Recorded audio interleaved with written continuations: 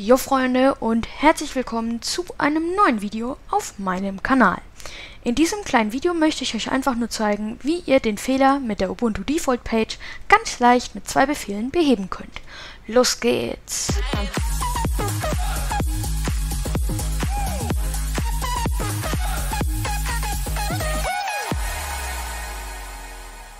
So, auf jeden Fall, wie ihr dieses Problem hier lösen könnt, es gibt hierfür zwei Befehle, dafür könnt ihr euch einfach mal einloggen hier.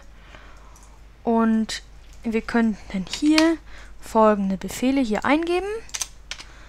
A2, dann decide 000 Bindestrich so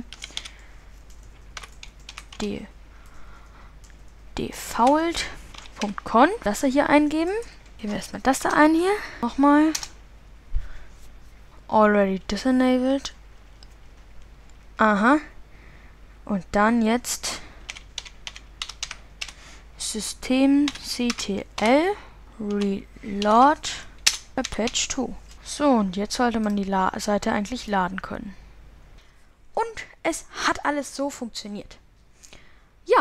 Wenn euch das Video gefallen hat, lasst ein Like da. Wenn ihr neu auf dem Kanal seid, könnt ihr den Kanal abonnieren, um keine weiteren Videos mehr zu verpassen.